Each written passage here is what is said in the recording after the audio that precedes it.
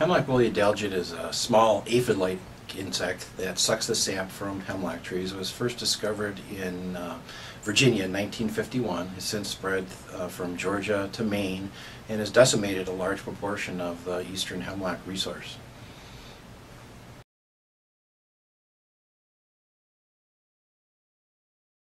Well, it's a potential threat to the over 100 million hemlock trees that we have in Michigan.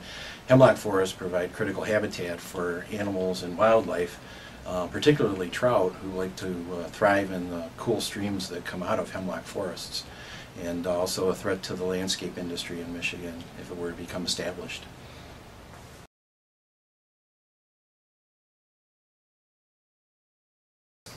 Well, the most obvious sign is a, a very small cottony mass that's atta attached to the twig at the base of the needle. And that can be very obvious, particularly at the end of the winter.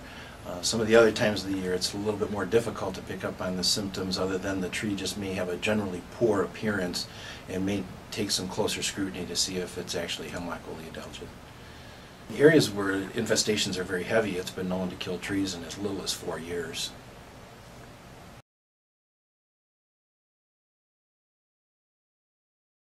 They can visit our website at michigan.gov slash exotic pests and we have pictures of what people can be looking for on their hemlock trees to see if they have the problem and, um, and then some information on how to notify us if they have a concern.